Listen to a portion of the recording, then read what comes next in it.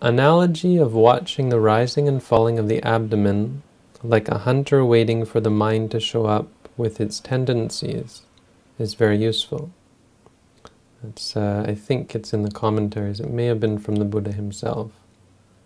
I think the Buddha used it as well, but the commentaries talk about this.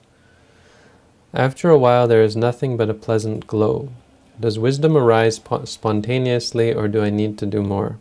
Yes, oh, if it, but if it were so easy, we could just sit with a pleasant glow and wisdom would arise. No, that pleasant glow is, glow is uh, a problem for you because you find it pleasant. The single most common hindrance in meditation that we come across is pleasant sensations.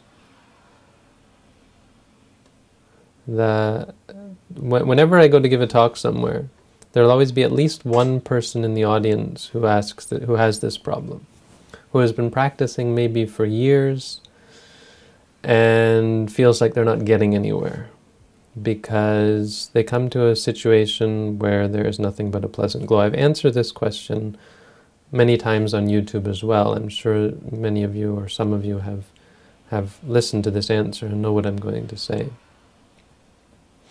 The pleasant glow could be classified as piti, rapture.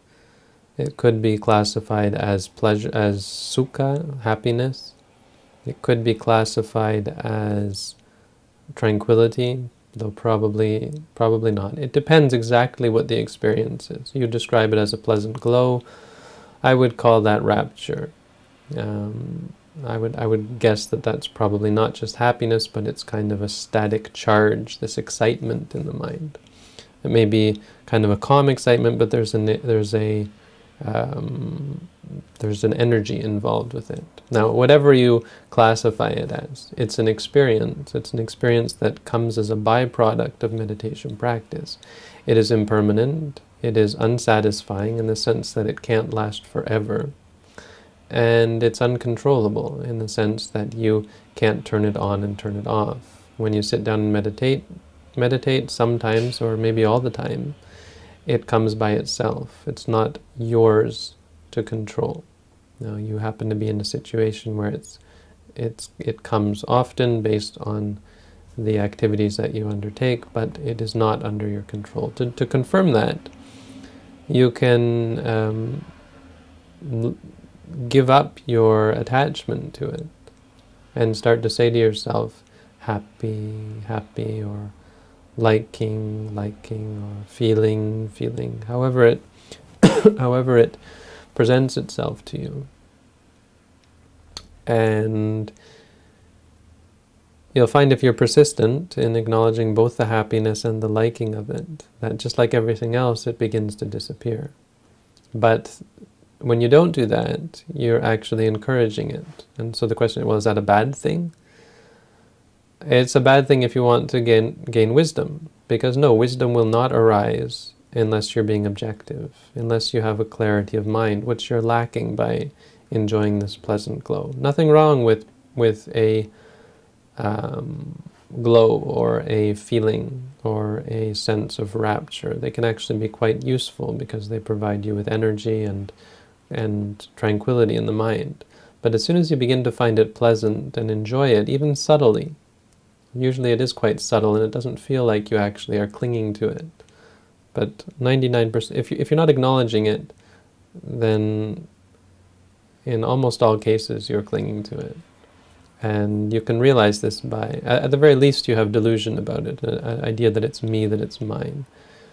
And by acknowledging feeling, feeling happy, happy, liking, liking, whatever, however it appears to you, you'll see that it ceases.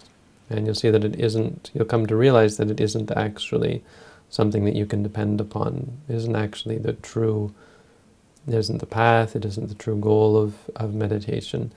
And that is a piece of wisdom. It's a uh, understanding. So that is, is wisdom is, and that is the path, and that will lead you closer to freedom from suffering. So Um, wisdom is not something that you can cultivate, that you can create. It's not something that you should try to actively cultivate in the sense of thinking or, or reflecting or puzzling out reality, asking questions about reality. It is something that will arise by itself, but it will only rise. It will only arise if you are objective, if you have the clarity of mind, which you don't have when you're clinging, when you're enjoying. So be very, very careful about pleasant sensations. They are not the path. You can. I did a video about the ten of them some time ago called "What the Meditation Is Not," I think, and you can watch that if you want to learn about the others as well. There's lots of good things that can come up that will only get in your the way of your practice if you cling to them.